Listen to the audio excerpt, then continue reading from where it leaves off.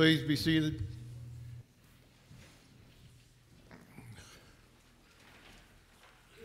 Good evening. Early announcements from the congregation at this time. Okay. Let's continue with the prayer of the day. Look kindly, Lord, we pray, on the devotion of your people, that those who by self denial are restrained in body, may the fruit of good works be renewed in mind. Through our Lord Jesus Christ, your Son, who lives and reigns with you in the unity of the Holy Spirit, God, forever and ever. Lord, in your mercy. The Wednesdays of Lent take on a more penitential tone. Our longing intensifies. We know we have to work hard to resist temptation and to change some of our bad habits. We know that spiritual renewal won't come easy, but we know that we all, all, all will ultimately be able to do what will come from God's inspiration as a gift. So we ask from a deeper and deeper place in our hearts. We listened to the wonderful children's story about Nineveh. They responded to God's word and repented. My sacrifice, O God, is a contrite spirit, a heart contrite and humbled. O God, you will not spurn. Lord, in your mercy. Blessed be God, the giver of salvation, who decreed that mankind should become a new creation in himself when all would be made new. With great confidence, let us ask him. Lord, renew us in your spirit. Lord, you promise a new heaven and a new earth. Renew us daily through, through your spirit, that we may enjoy your presence forever in the heavenly Jerusalem. Help us to work with you to make this world alive with your spirit and to build on earth a city of justice, love, and peace. Free us from all negligence and sloth, and give us joy in your gifts of grace. Deliver us from evil and from slavery to the senses which binds us to goodness. Lord, in your mercy. Dear Lord, we know that you receive what is in our heart. Let us be inspired by your words and by the actions of your Son, Jesus. Guide us to make sacrifices this Lent in the spirit of self denial and with greater attention to you and to those around us. Help us to believe that you will grant us this because of the sacrifice Jesus made for us. May the Lord bless us and protect us from all evil and bring us to everlasting life. Amen.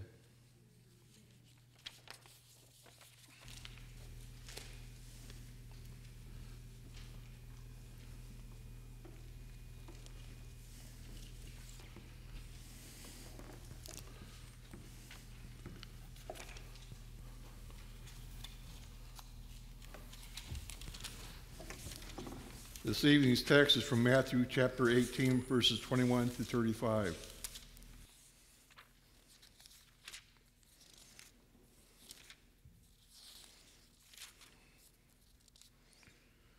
Then Peter came up and said to him, Lord, how often shall my brother sin against me, and I forgive him? As many as seven times? Jesus said to him, I do not say to you seven times, but seventy times seven.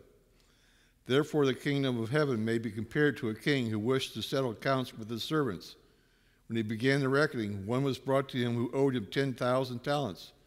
And as he could not pay, his Lord ordered him to be sold with his wife and children and all that he had and payment to be made.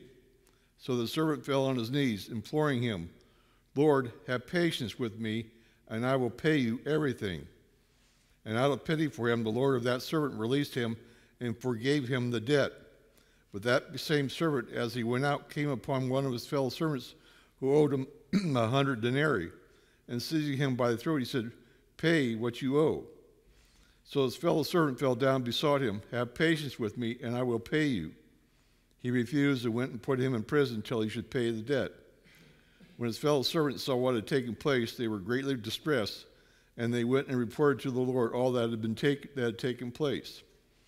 Then his Lord summoned him and said to him, You wicked servant, I forgave you all that debt because you besought me. And should you not you have had mercy on your fellow servant as I had mercy on you? And in anger his Lord delivered him to the jailers till he should pay all his debt. So also may my heavenly Father will do to every one of you if you do not forgive your brother from your heart. The gospel of the Lord.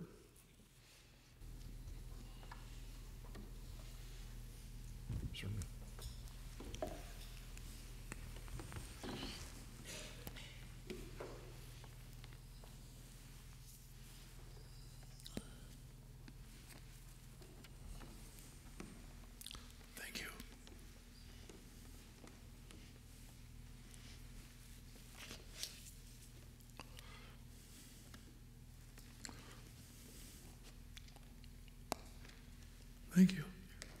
Would you like to preach? you will be preaching soon. So, and I had a little bit of an insight from you about what you're preaching on, and it sounds very challenging.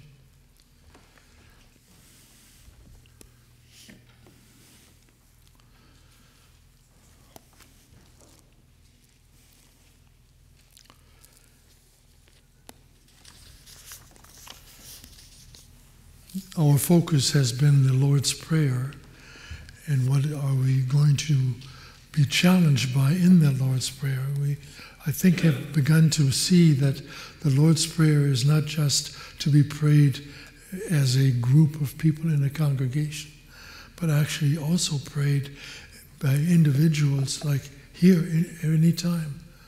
And so I suggest that you use the, the Lord's Prayer which actually was, was developed by Jesus in order for us to really understand what God is doing in our lives. And so, if we take that notion that God is going to reveal Himself, which is what we've been talking about in the past, then we can also begin to see that the Lord's Prayer is a prayer that will help us to actually understand where we're coming from and where God is coming from in our lives. And so, having prayed the Lord's Prayer, Our Father who art in heaven, hallowed be thy name. And then we come all the way down to give us our bread. And then we come down to the statement that says, Give us this day our daily bread and forgive us for the, the uh, the sins, and sometimes it's trespasses. Forgive us our trespasses and our sins. And that's where we're going to start today. Give us our trespass. Let's pray. Heavenly Father, we ask that you be with us in a way that can only be directed by you. Help us not to think that we can manage life on ourselves, even though the world encourages us to actually try to run our lives. The reality is that again and again and again in Scripture, we are advised that when we try to run and run our lives, it will not work out. And so, Lord, as we together pray, the prayer that you've taught us. Help us, Lord, to be the type of disciple that you are making in each one of us. Amen.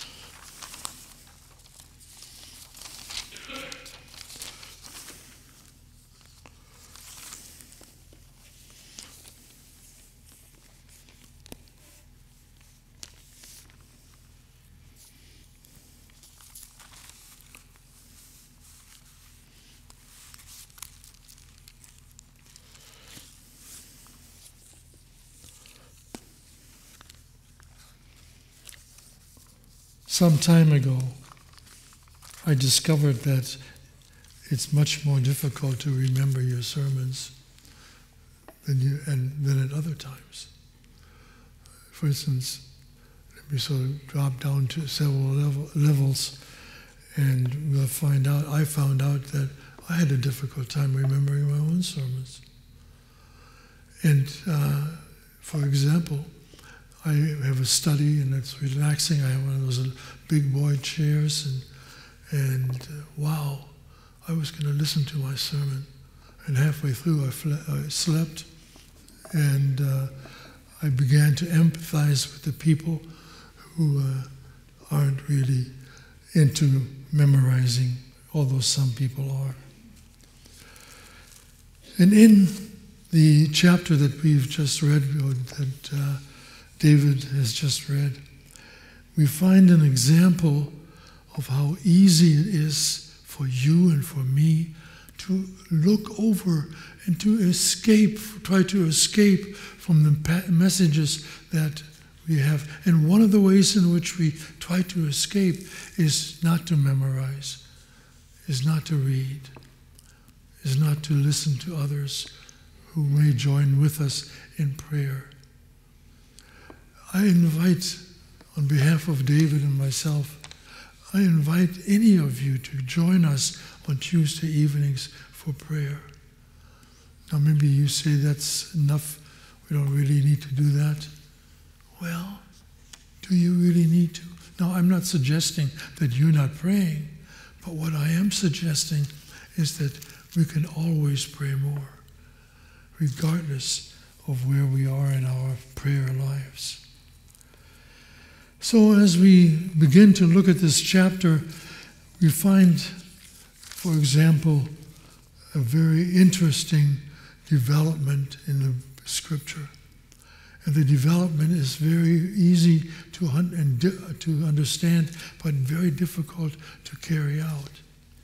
You see, what I'm suggesting is that you and I, as we go through our spiritual life, ought to remember some things. And first of all, what I want to suggest to you is that Jesus himself, in a very similar way, actually held us accountable. You see, in this particular day and age, it's easy for us to say this and that and, and sort of poo poo the idea of prayer. I've never seen a prayer answered. Or some people say, I have always seen my prayer answered. And so it goes and goes. But today we are focusing on how you and I are evil. Now, you might not like that because the world's perspective is for you and I to declare one another, you're okay, I'm okay. That was a book not too long ago that actually pushed that idea that you and I are okay. We don't really need to change. We can just do more of what we have been doing. And one way that we can challenge that is an example from Stalin, which I recently read again because of uh, the conflagration of, that we have going on right now in Ukraine. In a, very short period of time before the war broke out, the first time in Ukraine and Russia, the first time when the war broke out, the barons in Russia want, wanted to know how Stalin was going to support all of these things and do all of these things and still maintain the joy of uh, being the leader of, of, the, of Russia. And what he did, he invited most of the barons in. And when the barons came in, he had them sit down around a table, I presume, or maybe just a meeting. And you heard me use this example before, but it, beco- but it becomes a, for us to actually use it again. You see, he brought, brought all of the barons in, and then he did something that uh, will ever stick in my mind when I first read it. And then he had somebody open the door where they were sitting in a room that was rather large. And he used as an example a chicken that they brought in from the, from the outside. And he said, You want to know how I could control our country? They all said, Yeah, how are you going to do that? And he reached in his pocket and held seeds. But before he did that, he actually took that chicken and pulled all the feathers out. Now, I don't know whether you have ever pulled the feathers out of your spouse or somebody else, so to speak. But you see, he pulled, all the, the uh, feathers out. There was an excruciating pain. And start, they said, Yeah, now what are you going to do? Because they ran away. He said, Watch. And he took the, the seeds that he had in his pocket, and he reached into his pocket and, and called the chicken, and the seeds were there. And immediately the chicken came and said, That's how I'm going to control. Now that's evil. That's the kind of evil that we need to recognize in our own lives. And if you're sitting there saying, Well, I would never do anything like that, that's probably true. But I challenge you to think whether, in fact, you will do evil as equal as uh, that.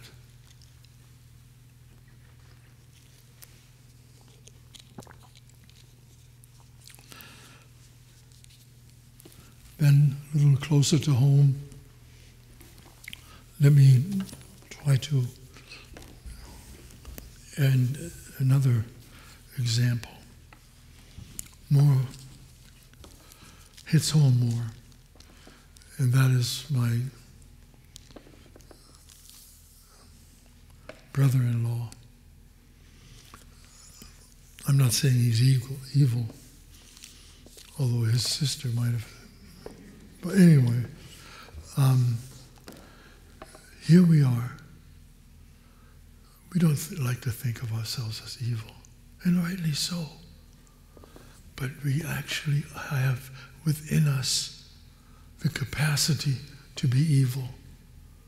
For example, another brother in law, he uh, was a piano pianist, concert pianist, and he was caught by the Russians, so many of the German soldiers were.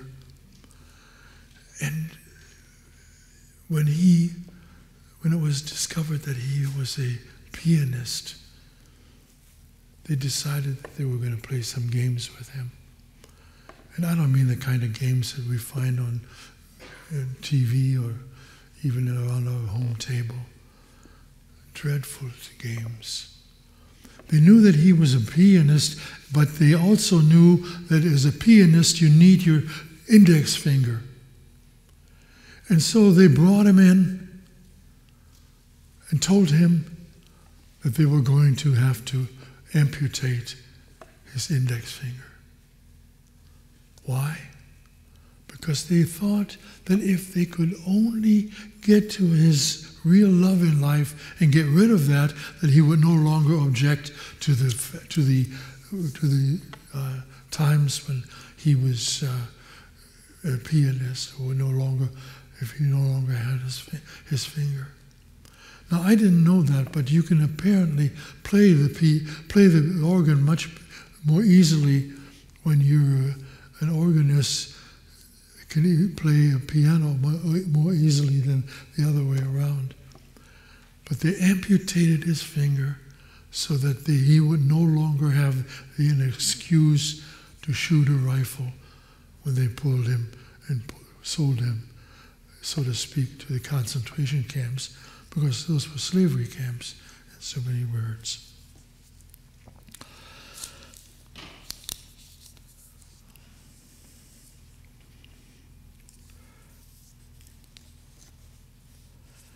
There's another story. You can just for a moment reflect with me.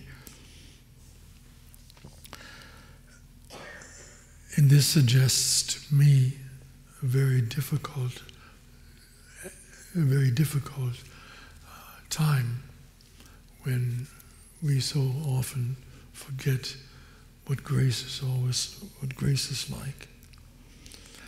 And this is about a woman her name was Frau. That's a general name. But she herself was there.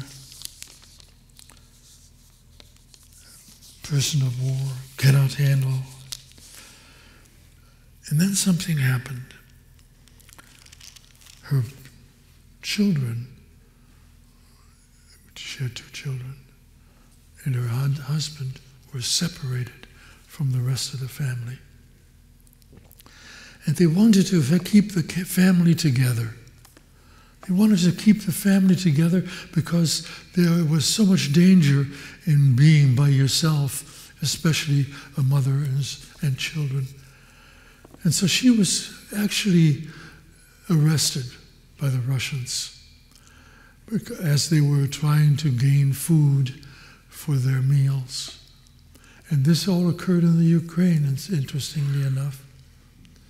And Frau actually said, I can risk anything as long as I have my children. So they all went out and searched day after day.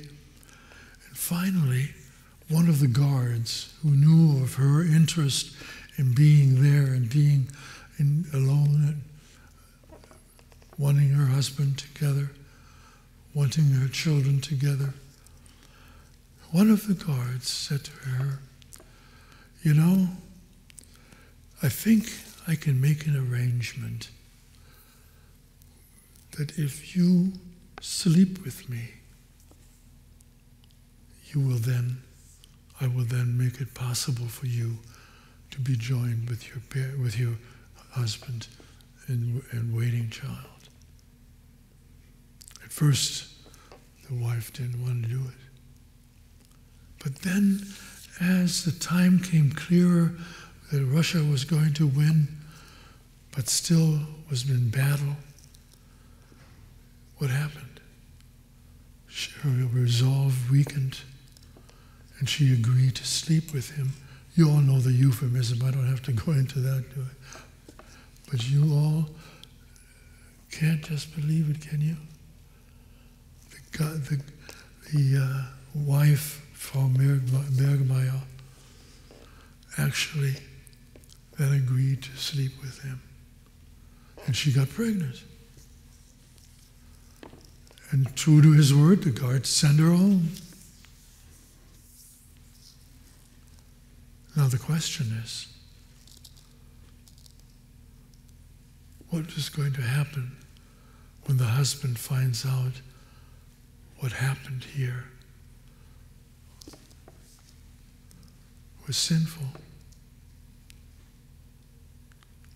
The question is, each of the children had to answer. Should we allow, and the little boy was named Dieter, said, should we allow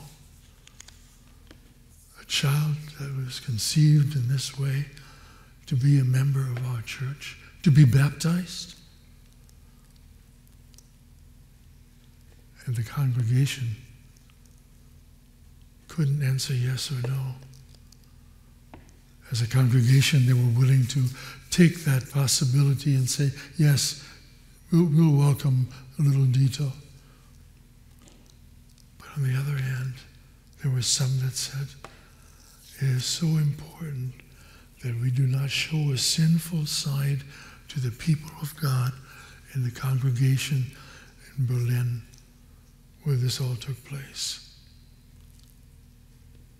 I don't know what happened.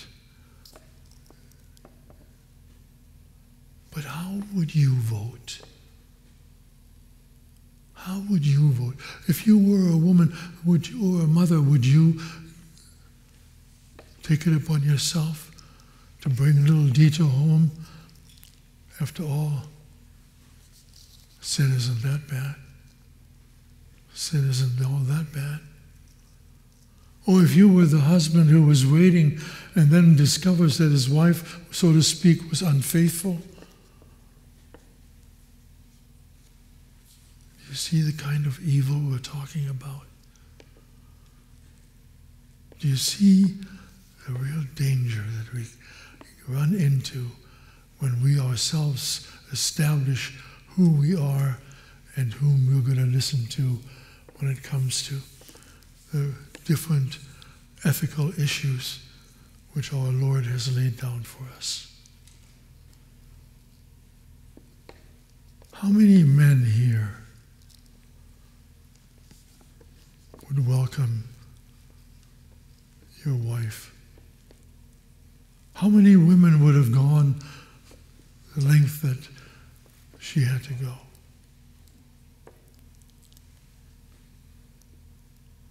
Don't throw the don't throw the question away. Talk about it. And what what was the underlying issue here? Amen.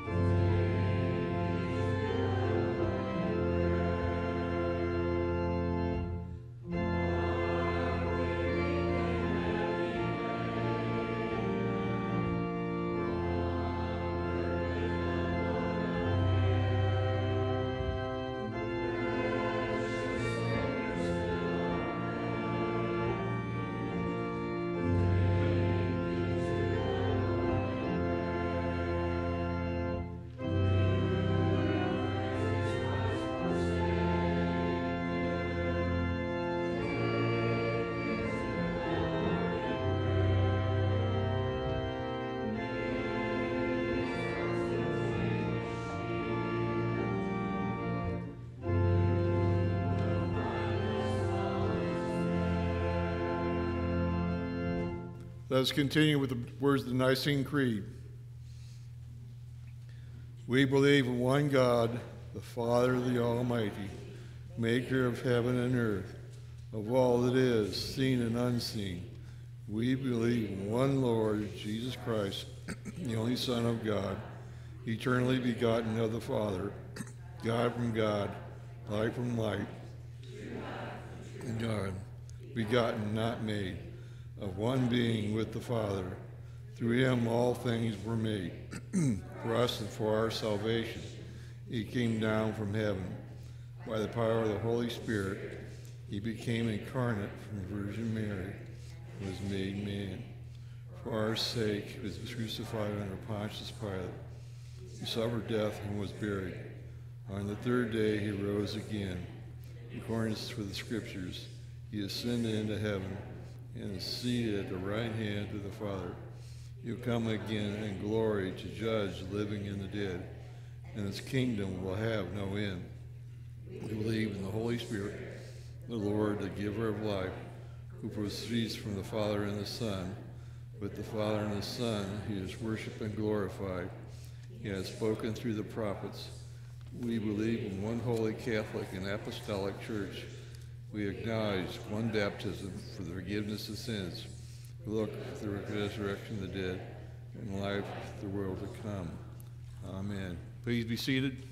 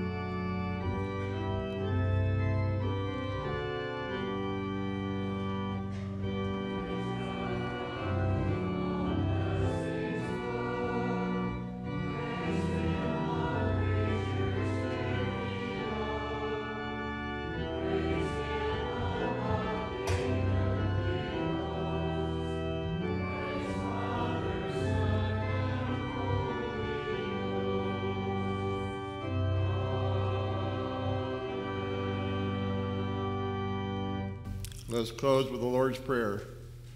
Our Father, who art in heaven, hallowed be thy name. Thy kingdom come, thy will be done, on earth as it is in heaven. And give us this day our daily bread, and forgive us our trespasses, and forgive us our trespasses against us, and lead us not in temptation, deliver us from evil. For thine is the kingdom, and the power, and the glory, forever and ever. Amen.